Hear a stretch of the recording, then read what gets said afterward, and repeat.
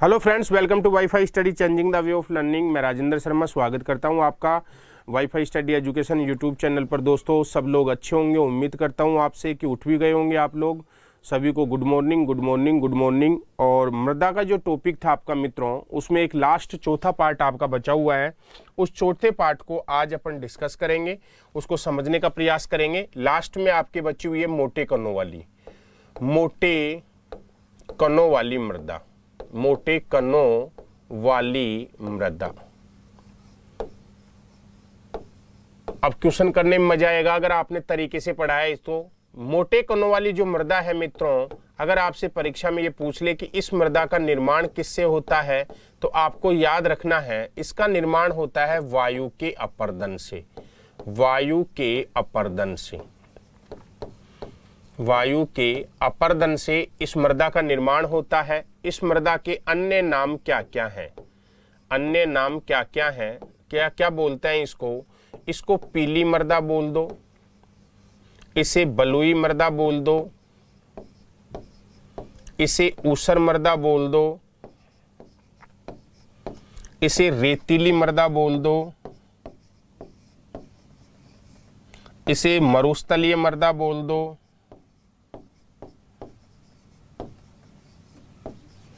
इसे सिरोजम बोल दो।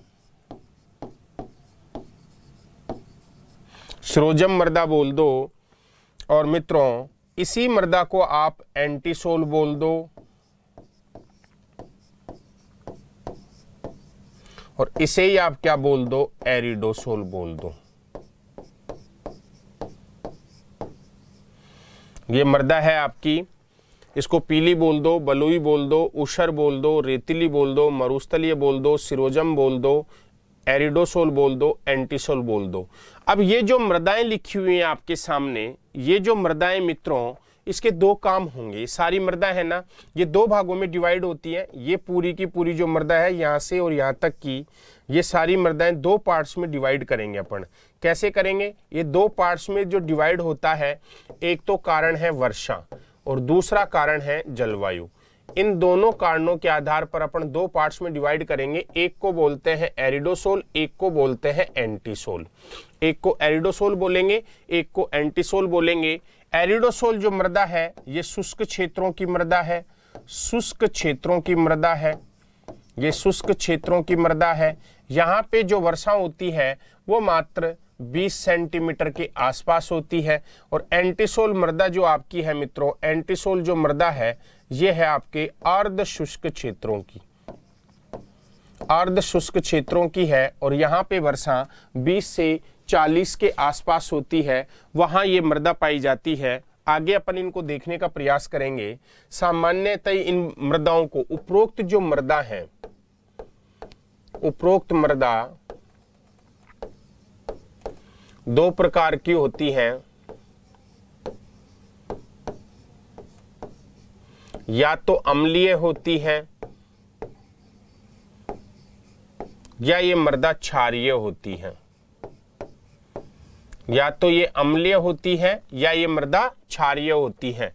अम्लीय और क्षारीय मृदा का पता हमको पीएच मान से लगता है, पता हमको पीएच मान से लगता है।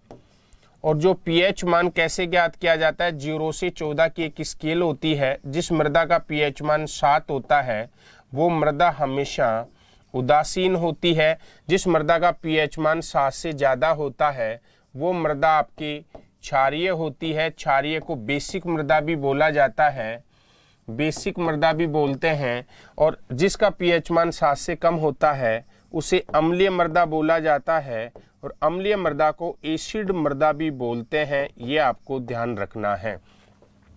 अब क्या इनमें उत्पादन होता है? तो याद रखना, जो बेसिक मृदा होती है, इसमें उपजाऊपन के लिए, बेसिक मृदा में उपजाऊपन के लिए हम जिप्सम का प्रयोग करते हैं। इसमें हम एक एलिमेंट्स खनिज होता है जिसमें जिप्सम का प्रयोग करते हैं और जो अम्लीय मृदा है इसको उपजाऊ बनाने के लिए हम चूना और रोक फास्फेट का प्रयोग करते हैं। चूना और रोक फास्फेट का प्रयोग करते हैं, ये आपको ध्यान रखना है।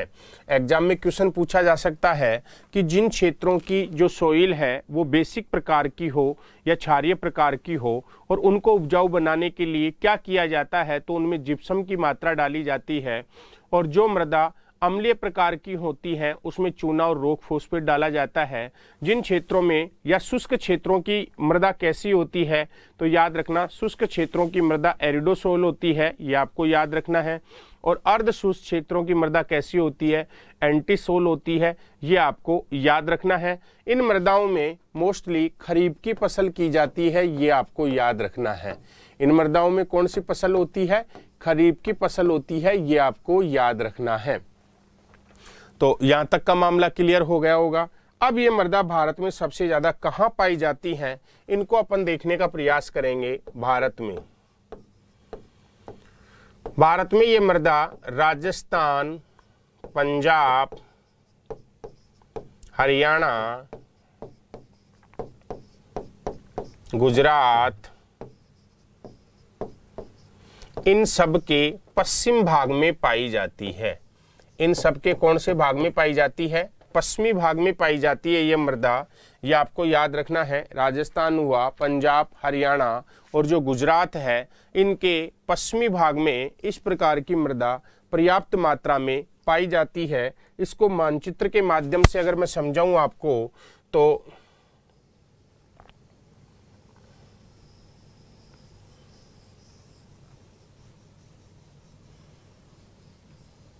देखो, कुछ मात्रा में यहाँ पे भी ये मृदा पाई जाती है। इसके अलावा ये मृदा जो आपके है, इस वाले पार्ट में ये यहाँ, इस वाले पार्ट में ये पूरी मृदा, इस वाले पार्ट में ये पर्याप्त मात्रा में ये मृदा पाई जाती है, ये आपको ध्यान रखना है। इस वाले पार्ट में ये पर्याप्त मात्रा में ये मृदा पाई जाती है, ये पश्चिमी भाग जो है, इस वाले पार्ट में ये मृदा पर्याप्त मात्रा में पाई जाती है। ये आपको ध्यान रखना है, क्योंकि ये क्षेत्र ऐसा क्षेत्र है जहाँ पे जो वर्षा है, वो आपके 40 से 50 डिग्री, यानी कि आपके 10 से लेकर 40-50 डिग्री के आसपास सेंटीग्रेड में वर्षा होती है, सेंटीमीटर में। ये आपको याद रखना है मित्रों। तो ये जो मृदा थी इनको आपने अच्छे से समझने का प्रयास किया होगा। ये चार प्रकार की जो मृदाएँ हैं, अगर आपने इनको समझ लिया तो आपका कल्याण है। ये वायु के अपर्दन से बनती है। इसका अन्य नाम पीली बलुई ऊसर, रेतीली मरुस्थलीय सिरोजम, एंटीसोल, एरिडोसोल बोलते हैं। एरिडोसोल और एंटीसोल इन मृदाओं को इसलिए बोला जाता है, इनका निर्धारण वर्षा और जलवायु के आधार पर होता है मित्रों।